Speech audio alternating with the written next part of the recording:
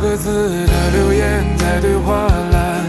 我点了清楚又写好几遍，只点了你的唯独的聊天，以为所有声响都是你的出现，要不你还是把我删了吧，我要紧牙关命令我发出这句话，天黑之前再讲一句晚安吧，就这样吧，往后很遗憾吧，我们的故事画上句点，到此为止了。